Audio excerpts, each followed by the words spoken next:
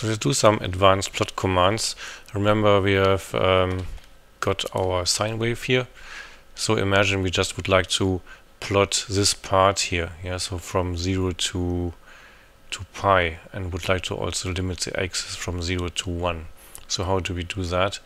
Um, for this purpose MATLAB has a very simple command and this is called axis.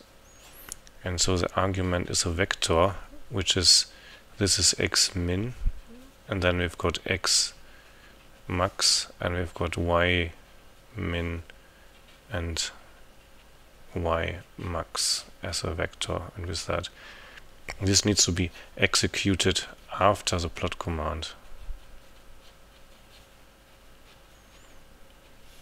After the plot command.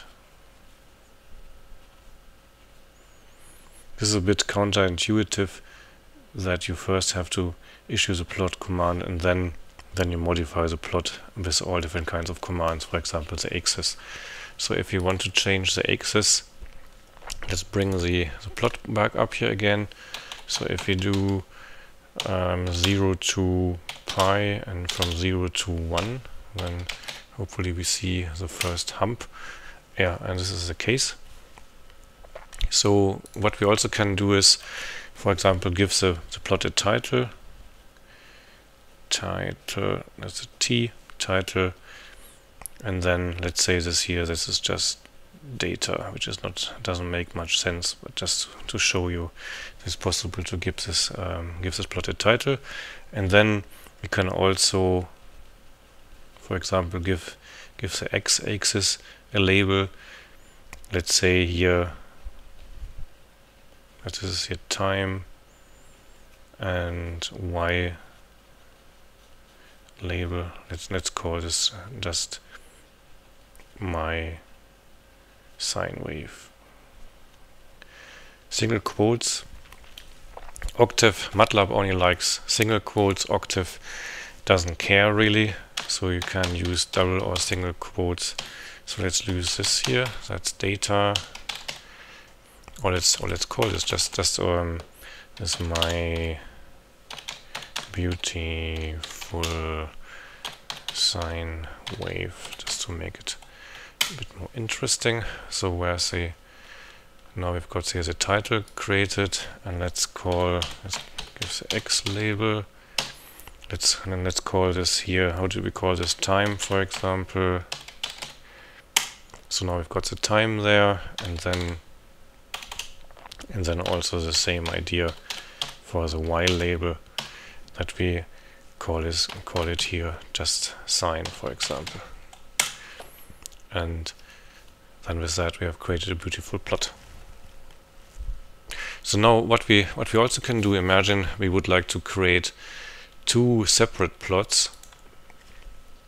Yeah so let's just take a new sheet. And um, imagine we would like to create two separate plots in the in this form that we have one plot here and another another plot here. So how how would we do that? Um, in order to create something like this there's a command called called subplot So imagine we would like to to create create a function sine of x and we would like to just distort this a bit with the exponential function. So for example like this and we would like to plot these two functions here, so the sine function for example here and the exponential function there. So how do we do this? For this purpose we use the, sub, the subplot command and um, the arguments of the subplot command is in the, in the following.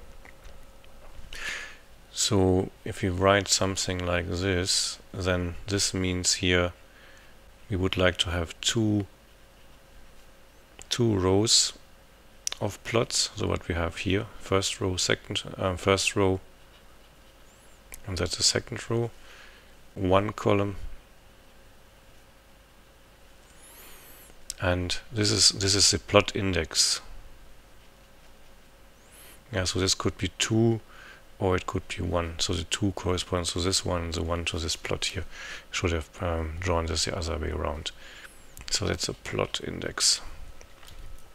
So now that's um, decently confused. Let's just do this here in practice.